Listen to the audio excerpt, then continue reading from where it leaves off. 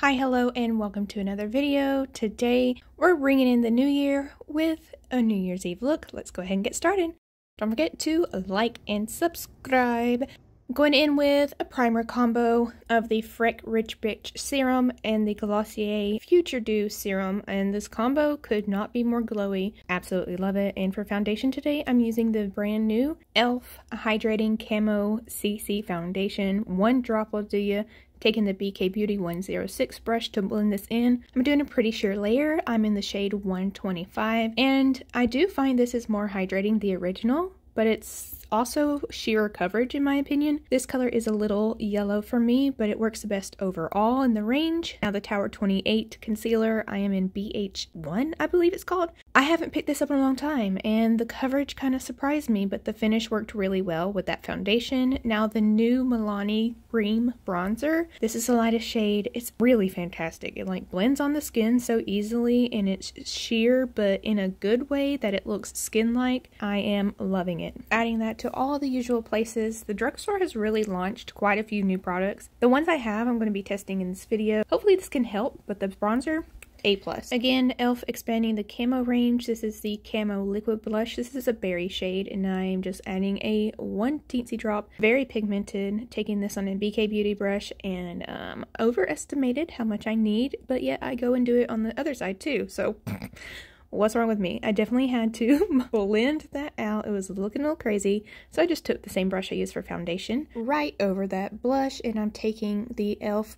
Prime and Set Powder. This is an amazingly affordable smoothing powder. It even works for my dry skin under the eyes, through the brows as usual. Fantastic. Check it out for yourself. And now, when I think New Year's, I think Blinding Highlight and the Rare Beauty highlighter in Enlighten is that girl. Adding that to the high points and just shimmering and glowing. Speaking of brands expanding a range in their collection, NYX has just launched the Marshmellow Mist. Smells great and is mattifying and I want to put that on before I put on my eye makeup. Taking a BK Beauty 201 and this shade from the Essence Taupe It Up palette. This is a wonderfully affordable, pretty good palette adding the cream shade all around the edges to keep things nice and blurred out. Really simple, kind of winging things out before going in with the Danessa Myricks Lightwork 5. I knew I wanted to do silver and this Invincible shade is amazing. The glitter is fairly chunky, but look at it it speaks for itself. It does fall out a little bit, but not too crazy much for how impactful it is. I'm taking the shade Protected, which is a duochrome that leans purple, and adding that to the inner corners just for a punch of brightness, taking another gray shade from the Taupe It Up palette on the lower lash line and winging that out. Soft and diffused, and wham, a bam. Thank you, ma'am. Another newbie from e.l.f., the H2O Proof Liquid Liner. I am just lining and winging that out. Mine is in the shade Sugar Plum, which is a pretty purple. This is a felt tip liner, which is not my favorite. I find that they're just a little too stiff, but I still managed to make this one work. And I'm going to buff out that same gray shade underneath the wings again for that diffused kind of look.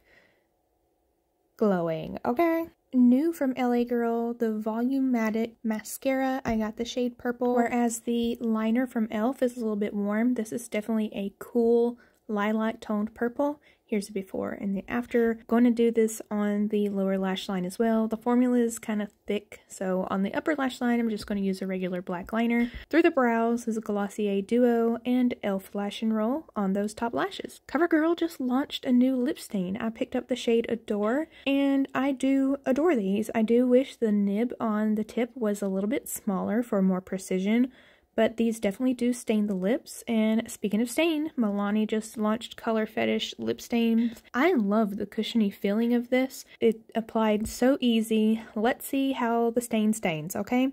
Here is what is left after wiping it off. Super pretty, great for if you're partying all New Year's, you'll still have the color on, but I didn't think it really matched the look, so I'm taking the matte lip pencil in Brooklyn Thorn from NYX Cosmetics, one of my favorite favorites for cool tone looks, and I'm taking the Victoria Beckham lipstick in the shade Jump, another cool tone. I mean, these are expensive, but the formula is so nice. I love cleaning up my brows and my lip line with the Danessa Myricks Blurring Balm Powder. I use the shade 1 and the KJH and Spectrum number 9 brush, and that is the look. Ready for New Year's, ready for 2024. I think we all are. 2023 was a hard year for a lot of us. There's still a lot of work to be done in 2024. I just want to take a moment to thank you all for the support in 2023. Party hard this New Year's. I appreciate you all so very much. Thank you for watching this video and all my videos throughout 2023. As always, be blessed and be kind. See you soon. Happy New Year!